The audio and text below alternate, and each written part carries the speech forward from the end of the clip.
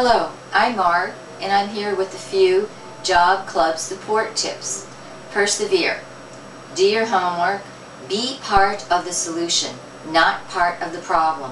This is so very, very important. Stay focused.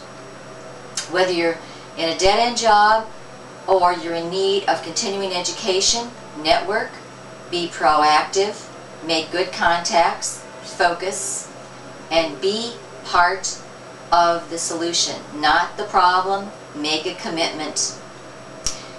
Join a job club support group such as this one. You can contact me via YouTube or by Skype and find success in what you're doing and be part of the solution, not the problem.